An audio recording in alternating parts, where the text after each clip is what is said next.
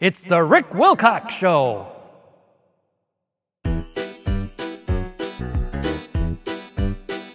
Yes, and it has been for a don't long time. I think I started doing this full time when I was 27. Full time. I did have two jobs before that. When I was 27, and I thought this is what I'm going to do. And I didn't care if I made less money than I was making when I had a full time job and doing magic. But it turned out that I actually made more money doing magic, but I was working all the time. I took any kind of show because I just loved to do it. It didn't matter what they were going to pay me. They didn't know that at the time, but uh, I worked a lot.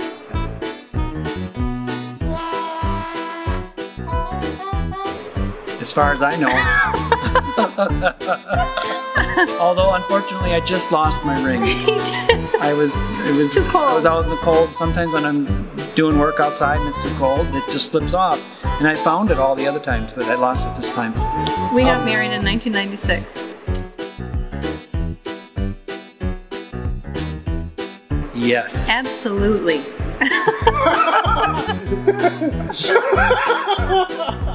and about halfway through the show, we're not mad at each other anymore. Yeah, she she does a pretty good job faking it. I think I do a better job, but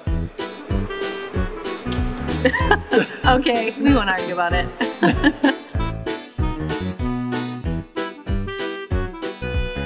no. But we try to design the routine so that even if it doesn't work, it's still entertaining. So you wouldn't necessarily know. And some of our best um, funny lines and funny things that happen now in the show are a result of mistakes that have happened over the last couple of decades. And we go, that was really funny. How can we make that happen over and over and over?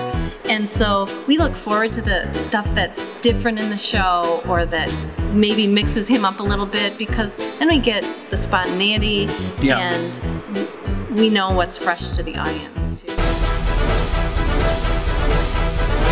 It's the Rick Wilcox Show.